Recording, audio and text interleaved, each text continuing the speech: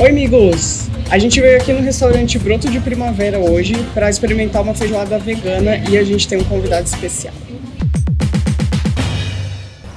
Olá, pessoas, tudo bem com vocês?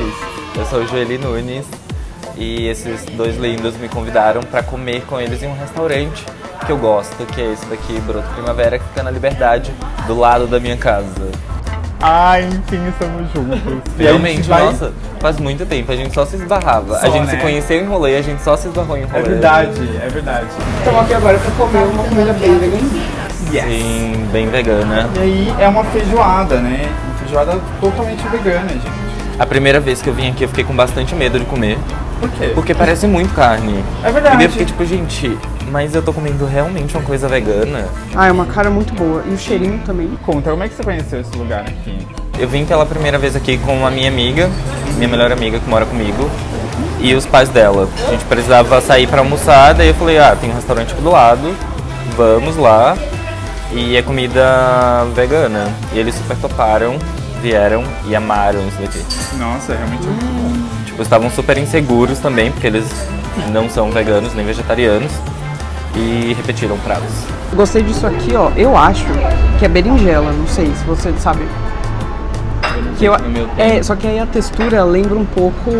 É berinjela. É, como se fosse, sei lá, na feijoada que vai carne, a carne do porco.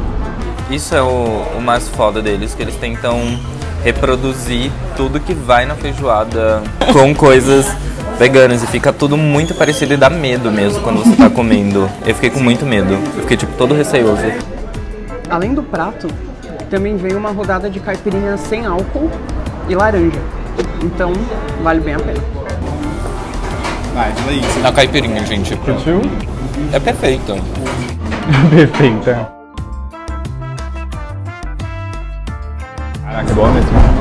Nossa, tem uma pimenta. Fala do seu canal.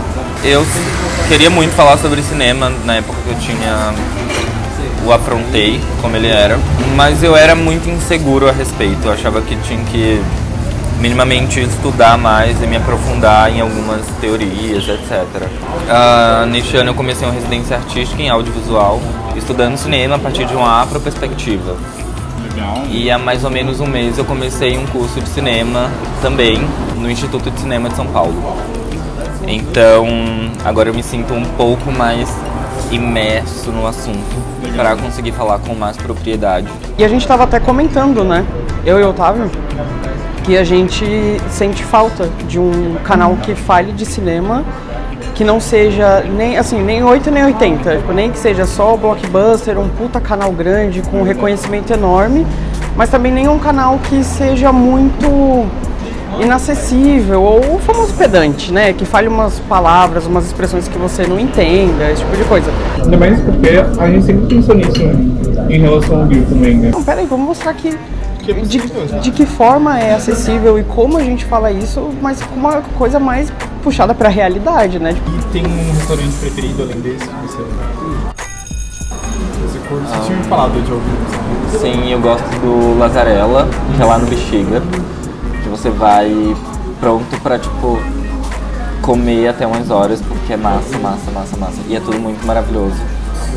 Simples, com um toque caseiro de família e tal. E tem o Fitó, que é um outro que eu gosto, que minha amiga, minha melhor amiga me apresentou também. E o mais interessante, o que mais me deixa confortável lá é que todas as funcionárias são mulheres. Ah, E a comida é muito boa e tem comida vegetariana, eles também conseguem, elas também conseguem fazer algumas coisas mais veganas se você pedir e tal.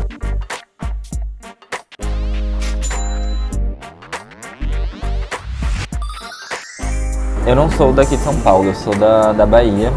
E parte da minha família, grande parte da minha família é de Alagoas, só que eles se mudaram para Bahia. Então eu cresci ah, vendo minha avó e minha mãe cozinhar com muito tempero, sempre muito tempero. E é muito engraçado que depois que eu comecei a cozinhar aqui, ah, morando sozinho, ah, eu tinha sempre muito essas le- lembranças presentes na, na hora que eu estava cozinhando.